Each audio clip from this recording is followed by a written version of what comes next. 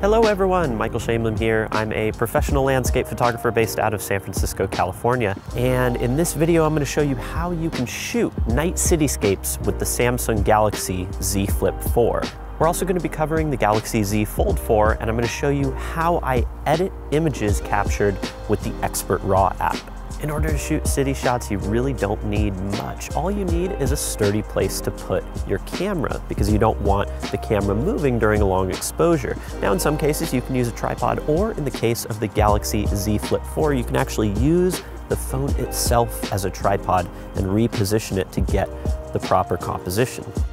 For the case of this tutorial, I found a slightly elevated perspective that offers this great skyline view in the distance and the opportunity for light trails on the street down below.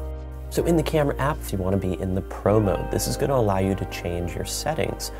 Okay, so ISO, this is your camera's sensitivity to light, and I want to keep this as low as possible because I want to bring in more light through the shutter speed and the long exposure.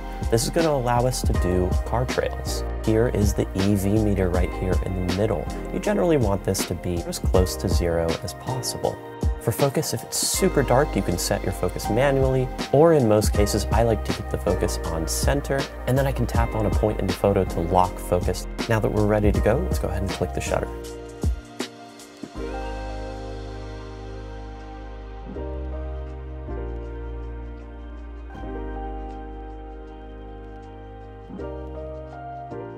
Okay, so let's take a look at the Galaxy Z Fold 4. I use the Expert RAW app to shoot this composition of the Bay Bridge in the city with the telephoto lens, using the same techniques and settings as the previous images. Now I'm gonna go ahead and bring that image from the Expert RAW app into Lightroom.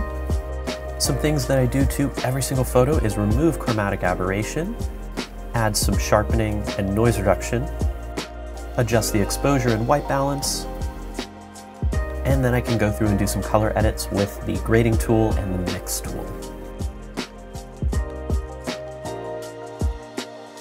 All right, so here's our final image. I really hope you all enjoyed the tutorial and I'll catch you in the next one.